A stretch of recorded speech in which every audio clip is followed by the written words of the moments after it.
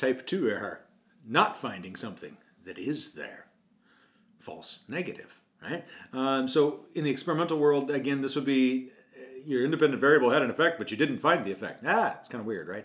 Um, so this is uh, this is the one you really don't want. You don't want to not be sensitive to the effect of your independent variable, not be sensitive to the effect of a test or something like that. You really, really, really want to avoid type 2 error.